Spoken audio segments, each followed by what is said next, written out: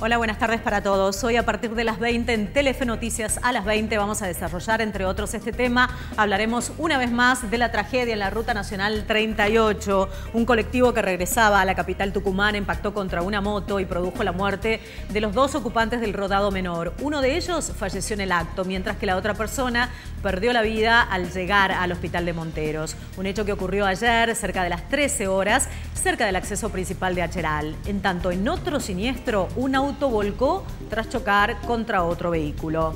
Y además nos vamos a distender un poquito y vamos a hablar del fin de semana que se ha realizado el desfile de apertura de la temporada en Tafí del Valle. El marco, como siempre, ha sido espectacular, la belleza de los paisajes, acompañada, por supuesto, por la presencia de figuras de renombre nacional, más un clima ideal y miles y miles de visitantes.